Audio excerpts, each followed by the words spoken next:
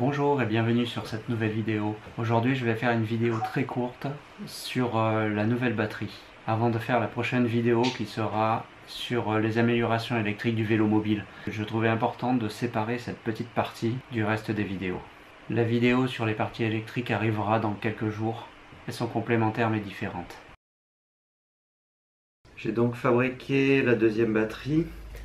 Alors euh, j'aurais aimé prendre des éléments 26-650 mais euh, ça fait une batterie autour des 500 euros quand même d'éléments. Euh, j'ai donc acheté quand même des 18-650 comme euh, la première batterie sur le site Encon.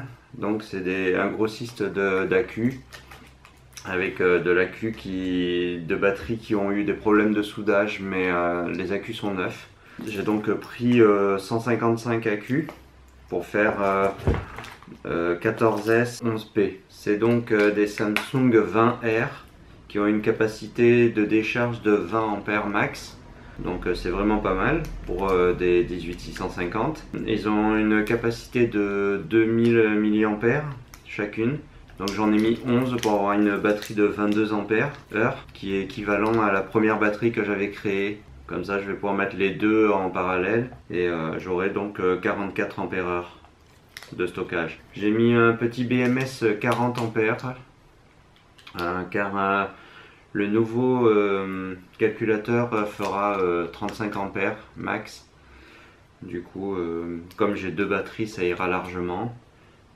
Et de toute façon, même s'il y en avait une seule, 40 ampères, ça, ça suffit largement. J'ai choisi pour cette fois-ci de prendre des éléments neufs, donc et tous identiques. Hein, c'est toute la même référence, les mêmes capacités, les mêmes capacités de décharge. C'est quand même un bien meilleur travail que des éléments de récupération. De plus, ils n'ont eu aucun cycle de charge.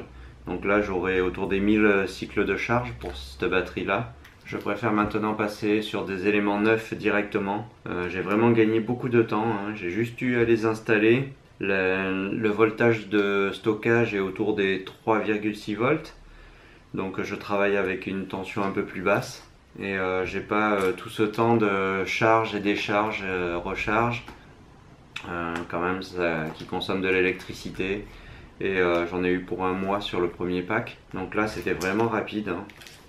Juste à installer il a fallu quand même éliminer les toutes petites traces de, soudure vu que c'est des packs qui avait eu des défauts de soudure. On voit que sur euh, certains éléments, il avait pas, ça n'avait pas été pointé, quoi. Ça avait été mal pointé. Et sur d'autres, c'est pointé. Donc il a fallu quand même gratter un petit peu à la Dremel et ensuite euh, remettre les bandes de nickel. Mais en tout cas, ça a fait gagner beaucoup de temps. J'en ai eu pour 250 euros donc l'ensemble. Donc à peu près le prix de la première batterie en ayant éliminé euh, tous les éléments moyens. Donc euh, c'est vraiment plus intéressant d'acheter de l'élément chez un fournisseur d'accu. Merci d'avoir visionné cette vidéo. N'hésitez pas à laisser des commentaires ou un petit pouce, ça fait plaisir, ça encourage. Et à très bientôt.